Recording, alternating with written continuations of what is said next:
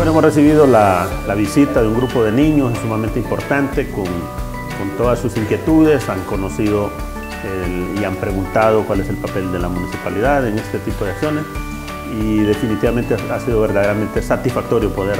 conversar con ellos. Está la municipalidad abierta, puertas abiertas para que cualquier colegio, institución que quiera venir aquí eh, pueda conocer eh, cuál es el funcionamiento, preguntar cómo se administran sus recursos, la transparencia con la que estamos